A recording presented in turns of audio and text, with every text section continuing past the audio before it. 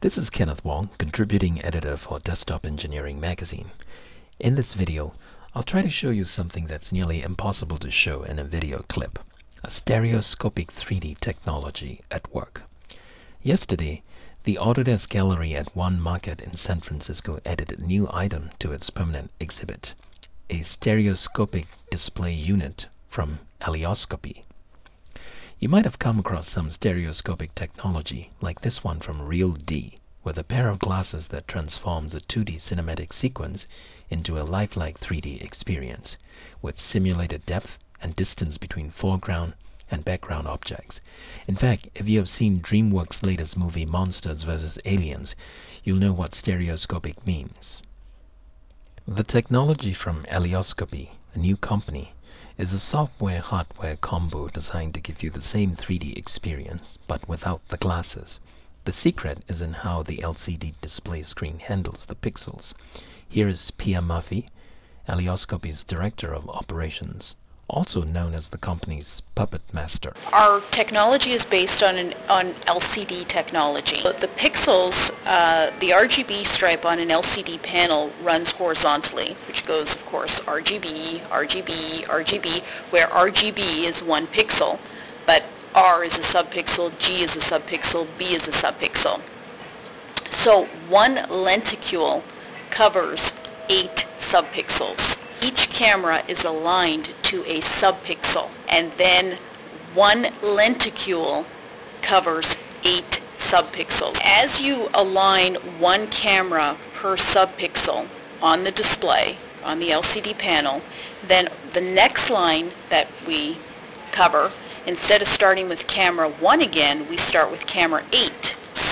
Then the next line, instead of starting with, again, camera 1 or camera 8, we start with camera 7 and then we go camera 7, 8, 1, 2, 3, 4, 5, etc. Now if you've noticed, the lenticular lens is placed on a slant. And it's done that because as you align all of camera 1s or all of camera 2s, they get aligned diagonally, which allows us to have a higher resolution. So people think, oh, it's multi-view, eight points of view. It's one-eighth of the resolution. We're actually one-third of the effective resolution because we place the lens on a slant. According to Alioscopy, you'd create your content in 3D packages like 3ds Max, Maya, or Softimage, then use Alioscopy's software Mix 8, which you get for free when you buy the hardware, to compile and render your content for the 8 camera angle relay that Pia just talked about. Now using this method, you can create not only pre-rendered sequences but also interactive 3D scenes. Two solutions for you. A, you uh, use our shader, which we support OpenGL right now, and we can also support DirectX, but we have a shader that you can build into your interactive real-time uh, solution or B, we have uh, an interactive real-time solution right now called Ignition through one of our third-party partners that is available and is Alioscopy ready. So what are the opportunities for designers and CAD users who already have 3D assets ready for conversion to stereoscopic viewing? Because we supply you with a uh, camera script really that supports the popular 3D packages, specifically 3ds Max, Maya, and Softimage.